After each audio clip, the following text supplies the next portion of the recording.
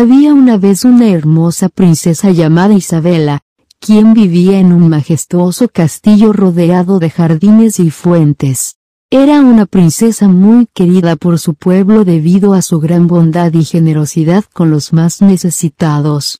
Un día, mientras paseaba por los jardines del castillo, Isabela se encontró con un apuesto príncipe llamado Alexander, quien había llegado al reino en busca de aventuras y, para cumplir una importante misión de su reino, el príncipe quedó completamente enamorado de Isabela apenas la vio, y decidió pedirle su mano en matrimonio.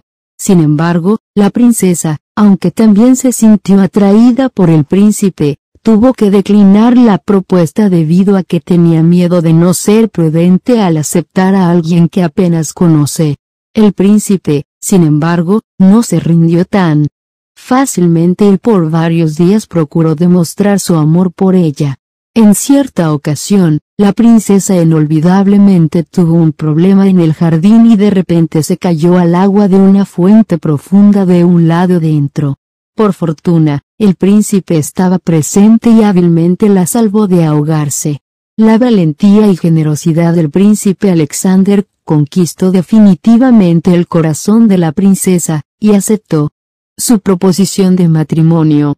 Así, se celebró una gran boda en el castillo de Isabella y Alexander, y vivieron felices para siempre, gobernando con justicia y sabiduría el reino.